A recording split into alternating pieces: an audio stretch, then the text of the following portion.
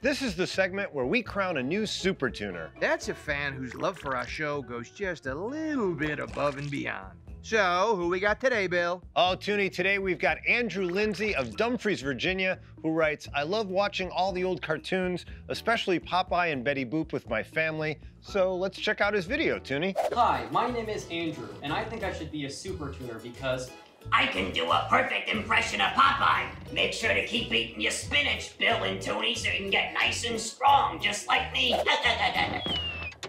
Whoa! hey, if anything could make me eat spinach, it's that right there. Yeah, do, do you really mean it, Toony? No, but uh, it's still the best Popeye impression I ever saw. Same here. Congratulations, Andrew. You, sir, are our newest Supertooner. And if you think you've got what it takes to be a Supertooner, just tell us why at tooninwithme.com.